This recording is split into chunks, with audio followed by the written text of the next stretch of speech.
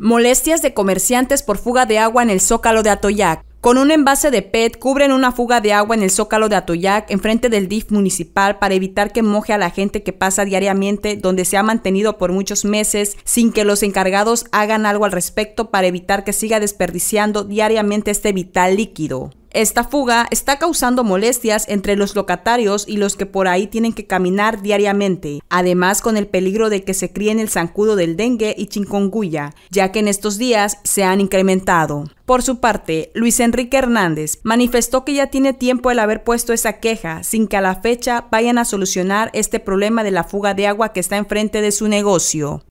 Sí, lo que pasa es que la inconformidad ya está, tiene tiempo, ya tiene pues, ya está puesta, tiene tiempo, pero no han hecho caso a las autoridades este se desperdicia demasiado el agua, vienen, juegan con la I, este, le ponen llave, la gente no lo sabe utilizar y pues es mucho desperdicio de agua, pues cuando hay sequía, este necesitamos el agua que está tirando ahí. Es un riesgo que todos corremos aquí, el, el dengue, lo que es el chikungunya que anda ahorita también, pues son riesgos que corremos aquí al estar aquí este, en nuestro establecimiento. Absolutamente nada, este, no poda, no se poda, no este, arreglan el, el desperfecto de, de la toma de agua de ahí, y se les ha comentado.